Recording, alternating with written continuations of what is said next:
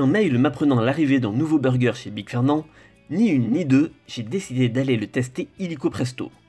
Pour cela, direction l'établissement situé au premier étage des Galeries Lafayette Homme dans le 9e arrondissement parisien, et son ambiance feutrée.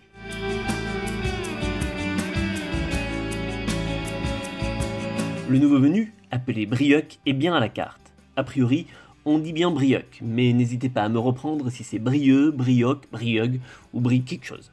Programme donc, ciboulettes, fondu de poireaux au cumin, curé nantais et steak de bœuf. Concernant le curé nantais, il s'agit d'un fromage au lait cru de vache qui a vu le jour en 1880 à Saint-Julien-de-Concelles et qui est aujourd'hui préparé en petite quantité à Pornic. Le brioc est disponible à l'unité au prix de 12 euros et un menu avec les frites dites Fernandine et une boisson pour 15 euros. Il est temps de dépioter l'emballage et on dirait qu'il n'y a qu'un buns. Même chez Big Fernand, la photo est un peu différente de la réalité. Cependant, si on regarde à l'intérieur, tout est bien là. La fondue de poireaux à fière allure et la ciboulette annoncent que vous en aurez entre les dents au prochain sourire. Les frites, elles, sont bien dorées. Disons-le, j'ai parfois été déçu par Big Fernand et c'est donc sans attente particulière que je mords dans ce nouveau burger temporaire. Et finalement, c'est une très bonne surprise. L'ensemble est fondant, le fromage et les poireaux se mêlent bien.